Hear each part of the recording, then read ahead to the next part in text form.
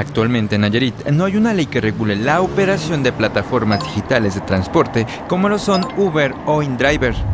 Estos trabajan sin pagar impuestos, por lo que se les considera como una competencia desleal en comparación con los taxis, por lo que se buscará crear una ley que pueda ponerlos a la par de los permisionarios del transporte público. No se vale la competencia desleal. Aunque ellos estén amparados, estén trabajando conforme a una contraprestación entre dos particulares, no se vale.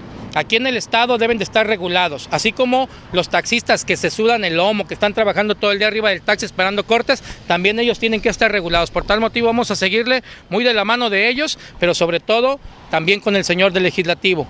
El mismo director de tránsito explicó que ya ha tenido diálogo con los diputados locales para poder regular este servicio, que se encuentra dentro de una laguna legal, escudándose como un servicio de transporte privado se da un tiempo de armonización de ley, de iniciación de vigencia, que es el proceso legislativo. En cuanto ellos ya la den a conocer y se, y se publicite en el periódico oficial, tiene su tiempo de iniciación de vigencia. Dependemos del legislativo.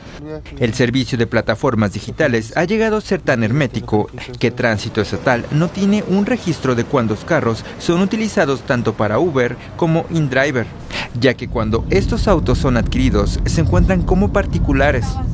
Este es una de las razones por que se ocupa la regulación de este tipo de servicios. Antonio Jau, Mega Noticias.